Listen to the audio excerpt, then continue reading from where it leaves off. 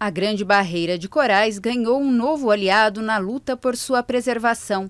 O Ranger Boat é capaz de caçar e destruir a estrela do mar coroa de espinhos, que devastou o Recife na costa australiana. Segundo cientistas da Universidade de Tecnologia de Queensland, o robô foi desenvolvido com financiamento do Google. Com bateria de 8 horas de duração e recursos de visão computadorizados, o Android é capaz de monitorar e mapear áreas de Recife em escalas antes impossíveis.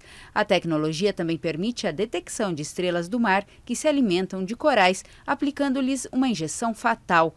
Os especialistas garantem que a injeção é inofensiva para outros organismos do Recife. As estrelas do mar se proliferaram nos últimos tempos devido à poluição e ao escoamento agrícola.